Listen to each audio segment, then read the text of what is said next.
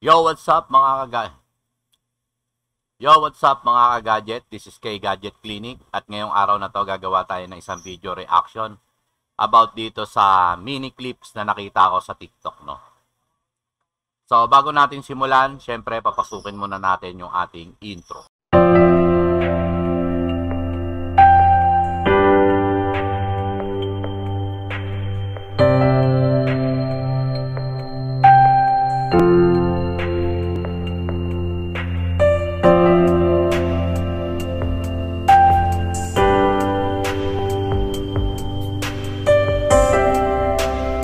Nga no mga ka-gadget, ah napanood ko to sa isang ah, ah, social media, ito yung sa TikTok na dumaan siya sa aking ah, pinaka tawag dito, pinaka timeline sa TikTok no. So nung napanood ko siya, medyo parang nadismaya ako kasi I think wala pa naman ako nakikita na ah, supporters ni Bongbong Marcos na nagsasalita ng ganito against dun sa kalaban niya.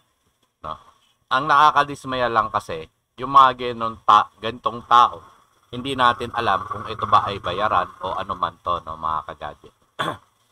ah, kumbaga, bakit mo ba gagawin itong ganitong klase ng panggugulo or ah, pagsasabi ng hindi na hindi naman napatunayan talaga no sa isang tao. Unang-una, ah, medyo delikado yung ginawa niya.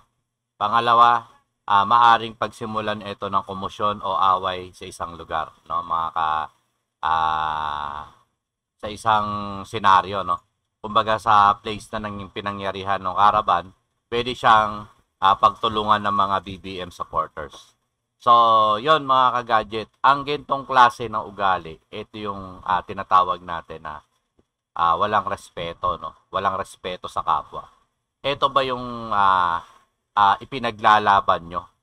O ito ba yung gusto nyong ah, makuha o matutunan ng mga kabataan natin ngayon? Na tayo mismong matatanda, no? Ay ah, ganito yung pinapakita natin.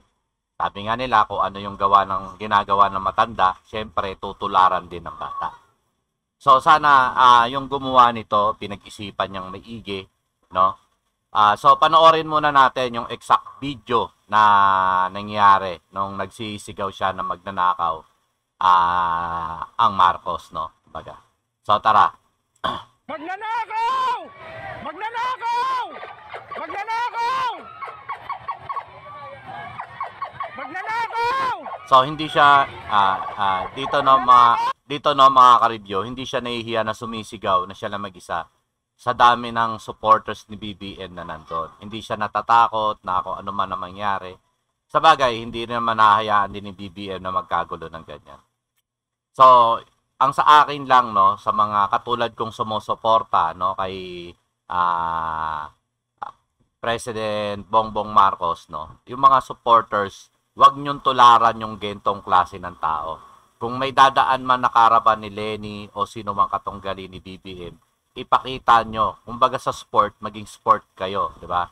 Ipakita nyo, igalang nyo, padaanin nyo ng maayos. Huwag na kayong magbato ng mga kung ano-ano. Huwag nyo nang gayahin yung gantong klase ng ah ah, pagbibigay, no? Pang, pa, pagpapahiya sa isang tao. So, tuloy pa natin. Ah. Magnanakaw! Magnanakaw! Magnanakaw! Magnanakaw! Niyo ako? Magnanakaw kayo! Magnanakaw! Magnanakaw kayo! So, I think ah etong video na to no mga ka-gadget. Ah ginawa niya to ah, para lang sa isang trending ano, trending post or gusto niya lang makilala or kung hindi naman posible na ah pwede ring bayaran. Ah, kung hindi naman, ah, siguro gusto niya lang ipamukha sa maraming tao na dapat hindi natin iboto si BBM. Ayun, ah kasi yung mga gentong klase ng paninira, tapos na to eh. Ah, new era na tayo. Lahat ng tao ah linaw na ang utak about sa mga Marcoses. Kumbaga nagising na kami. No, hindi na kami kailangan pang bayaran para pumunta sa caravan. Hindi na kami kailangan na ah, bayaran para ipagtanggol yung aming presidente. Dahil alam na namin kung ano yung totoo. No? Ultimong mga matatanda na inabot ang martial law, alam na rin nila kung ano ang kinaganda ng martial law noon kaysa ngayon.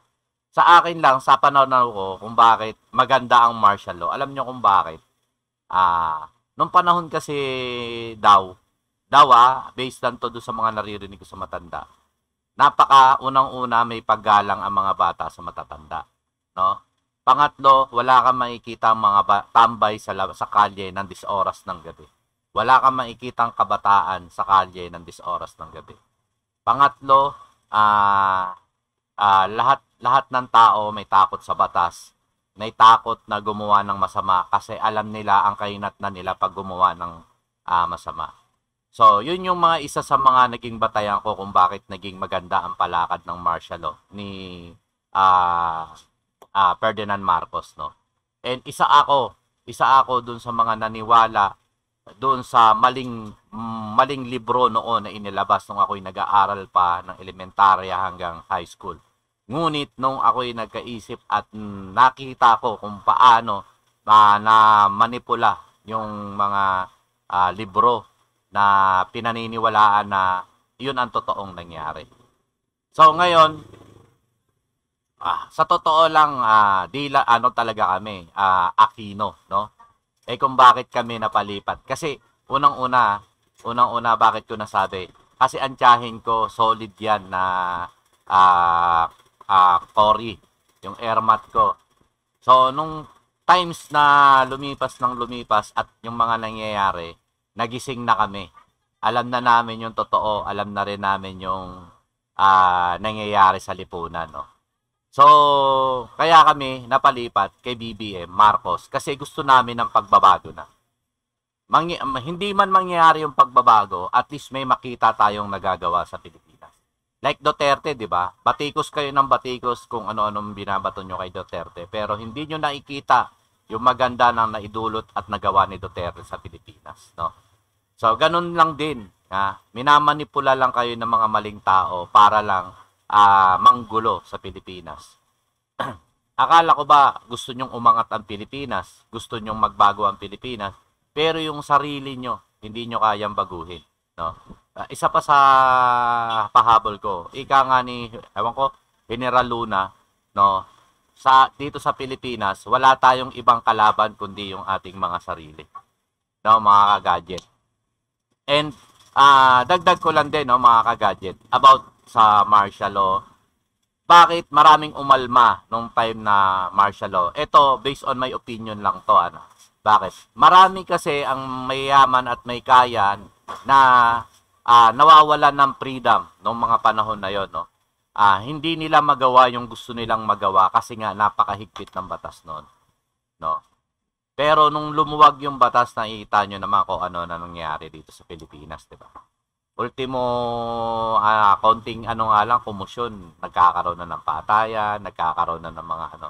Dahil nga, wala nang, wala nang kamay ang batas eh. Kumbaga, wala nang pangil yung batas natin. Ah, nabibili na yung kaya na nilang aregluhin yung mga kaso-kaso, di ba? So, yun yung mga isa sa mga na ano ko kung bakit kung bakit ah, against sila noon sa martial law, no? And besides, kaya binaba naman yung martial law dahil sa mga rebel ah, rebelde, 'di ba? Sa mga NPA, sa kung ano man. So, para sa akin, ah, mas maigi, no, na kontrolin ang Pilipinas, no, ng saligang batas natin. Nang patayin mo yung ng pamamahala ng gobyerno. Ngayon, kung hindi ka man susunod sa batas ng gobyerno, eh wala na tayong magagawa doon. No? Kundi ikaw mismo yung ah, mag-a-adjust sa sarili mo, hindi yung gobyerno yung mag-a-adjust sa'yo. So, yun lang yung hinihimo ko dun sa mga BBM supporters na kung sakaling dumaan man yung katunggali ng ating manok, is wag nyo nang sigawan ng sigawan ng kung ano-ano mang mga pangit na salita.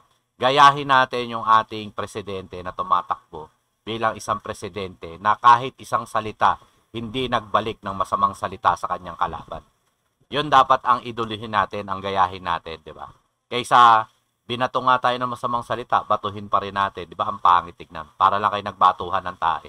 So, yun mga ka-gadget, hanggang dito na lang ang aking video reaction dito sa ah pagsisigaw ni Manong na magnanakaw nga daw ang mga Marcos. So, peace out.